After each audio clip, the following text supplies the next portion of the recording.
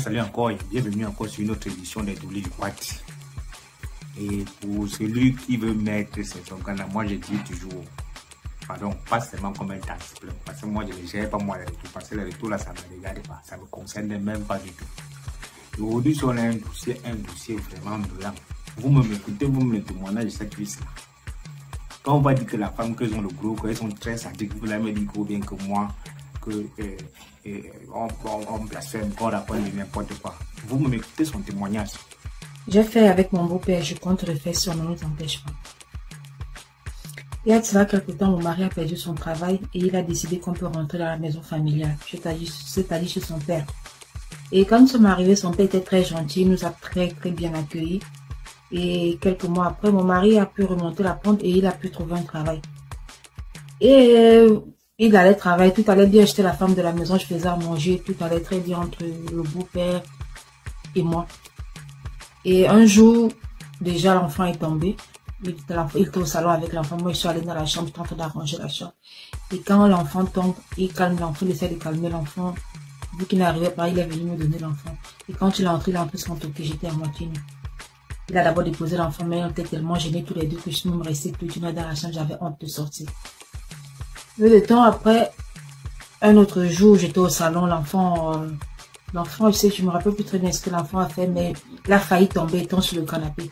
C'est comme ça que je me relève encore en, en suceau, quoi. Et une fois de plus, le pain est tombé.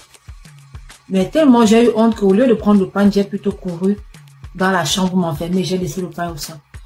Donc, je ne sais pas si c'est tout ça qui a attiré certaines choses, mais après, deux mois plus tard, j'ai appris que mon mari me trompait et donc j'avais fait le téléphone, j'ai vu. On a commencé à se discuter. Étant dans sa chambre, comme sa chambre à côté de la nôtre, il a compris. Et je suis restée pleurer le matin quand mon mari est parti, il m'entendait toujours pleurer et tout. Il a décidé de venir me consoler. Il a décidé. Quand il est venu, c'était pas avec une mauvaise pensée, hein. il venait juste me réconforter. Il m'a dit, écoute, euh, ça arrive parce que tous les hommes sont pareils, il faut voir comment tu peux supporter et voilà, passer à autre chose. Donc, vu que je, je pleurais, je n'arrivais même pas à me calmer, je n'arrivais même pas à parler, à lui expliquer réellement ce qui s'est passé, même si c'est quand même qu'il avait déjà une idée de tout ça. Il est venu vers moi, il s'est assis, il me donnait le conseils, me regardant, et c'est comme ça que, voilà, yeux dans les yeux, yeux dans yeux, et puis, c'est ce qui est arrivé, arrivé, on a commencé à s'embrasser, et puis on a fait. Et j'ai été quand même surpris pour quelqu'un de son âge d'être aussi performant, plus dix fois mieux que son fils. Bah, j'ai été tellement choquée et puis je me suis dit, déjà son fils il sort le matin, il rentre très tard le soir. Donc, euh, s'il peut faire ce qu'il fait là-bas, moi, s'il y a quelqu'un qui, qui peut me donner un peu de plaisir dedans, bah, pourquoi pas. Mais après, je me suis dit, c'est mon beau-père, c'est sale, faut plus qu'on refasse. Je, j'avoue quand même qu'il y avait aussi cette petite rage là, genre, il m'a fait ça, il m'a trompé, c'est pas la première fois il y avait quand même un petit désir de vengeance aussi dedans. Mais bon, c'est arrivé et après j'ai regretté. On s'est dit que non, on arrêtait. Et même pas un mois après, on a encore repris. Et maintenant, presque chaque jour, quand mon mari part, on reste ensemble et on fait, on fait. Mais moi, j'ai peur parce qu'imaginez un peu que mon mari découvre ça, c'est pas déjà d'infidélité qu'on peut pardonner. Et donc, j'ai dit à mon mari, tellement je me suis attachée, vu que c'est quand même, euh, il me fait arriver ou il me fait connaître des choses, en fait, pour son âge. J'ai dit à mon mari que le mieux c'est qu'on parte, que je me sens plus à l'aise. Je ne pourrais pas expliquer à mon mari, je ne peux pas lui dire pourquoi. Et là, je dis, maintenant que tu as un travail, allons-y. Mon mari refuse. Il me dit que non, nous sommes bien chez son père, on épargne. On épargne même d'abord comment quand tout le temps tu finis le travail, tu peux boire. Ça, c'est la paresse parce que tu ne veux pas prendre tes responsabilités. Sais que parfois, même c'est ton père qui rassure. Parfois, il ne fait presque plus rien. Pour l'argent, allons-y, on prend une maison. Il refuse. Et vu qu'il refuse, parce qu'il a parlé de ça à son père, son père m'a demandé pourquoi je veux partir. Je lui ai expliqué que tant qu'on est ensemble, on va toujours continuer. Donc le mieux, c'est que je parte.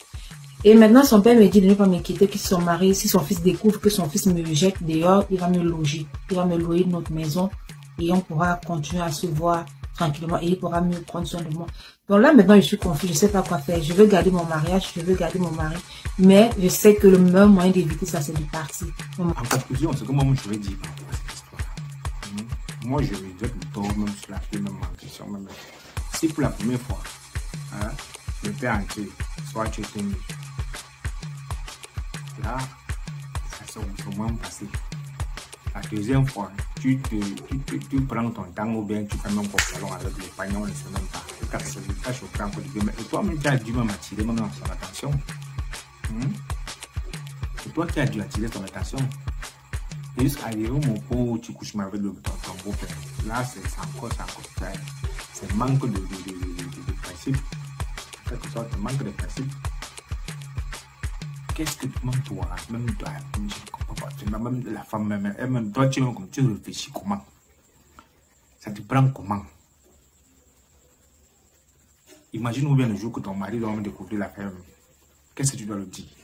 Tu dois t'expliquer comment? Tu vas voir les deux, les deux comment?